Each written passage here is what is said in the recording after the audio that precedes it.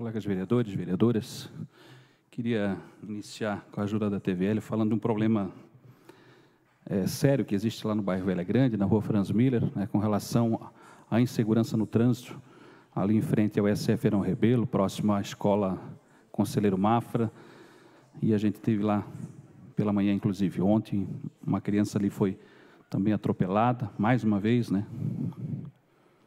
Estou aqui na rua Franz Miller, no bairro Velha Grande, nos locais onde a gente está cansado de cobrar uma faixa elevada, uma lombada eletrônica, algo nesse sentido. Aqui tem a unidade de saúde, o SF Herão Rebelo, ali logo à frente tem o CAIC, lá a subida para a rua Hermancrates. Aqui tem os comércios aqui, da Anitta Votumaia, do Ville, comércios tradicionais. E aqui nesse local uma movimentação intensa de veículos de pedestres, né? principalmente nos horários de saída dos alunos da escola, uma escola com um grande número de alunos tem as crianças que vão aqui para a ONG também, São Felipe Neri, tem os usuários da unidade de saúde, tem os próprios moradores aqui da região, enfim, e aqui já aconteceu vários acidentes, e a gente não quer que precise acontecer algo mais grave para que o poder público faça alguma coisa. Então nós precisamos, enquanto a gente está aqui, inclusive já aconteceu algo ali. A gente precisa de uma faixa elevada, de uma lombada eletrônica, algo nesse sentido, com urgência, aqui na rua Franz Miller, na altura do 1917, nas proximidades da unidade de saúde estamos cobrando, estamos fiscalizando, estamos alertando o poder público dos riscos de acidentes que tem aqui. Então está aí essa situação, a gente já está cansado de fazer requerimentos, indicações, já são anos que a gente vem cobrando isso e não se faz nada. Então já vários acidentes ali, né, com vítimas, danos materiais, enfim, vários.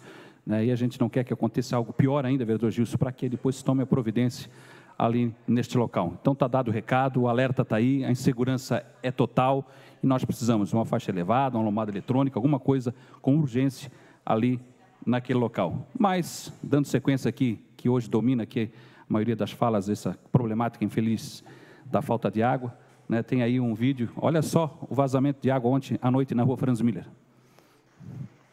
Olha aí. Estou aqui na rua Franz Miller. Enquanto falta água na casa de muitas pessoas, de olha aí o vazamento. Já entrei em contato com o Samai, não tive retorno porque essa, toda essa água vazando. Olha aqui. É muita água. Olha lá, ó, correndo pela rua Franz Miller abaixo, aqui na Velha Grande. Várias reclamações de falta de água, inclusive hoje durante o dia, nos últimos dias, falta de água, inclusive aqui na rua Germano Cratineto, várias vezes aqui na comunidade, faltando água aqui na região do Guaricanas, na Velha Central, nos morros. E olha aí, ó, e a água, ó, água tratada indo embora pelo ralo. É um absurdo.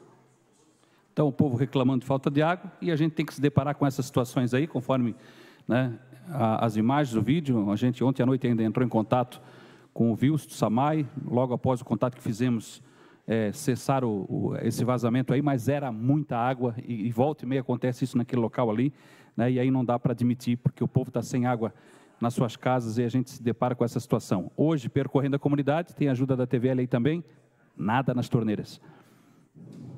Estou aqui na, na região da Hermancrates, mas eu já estive em várias ruas hoje, inclusive em casa sem água.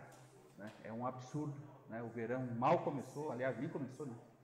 Nós estamos aí é, saindo do mês de outubro. Imagina o que nós vamos enfrentar pela frente. Olha aqui, ó. ó vamos abrir aí a torneira. E assim é rotina agora, né, seu Valda? É, assim mesmo. Todo dia. Todo dia. Dia sim, dia não. Olha aí, ó. Infelizmente, Nada. dia todo sem água.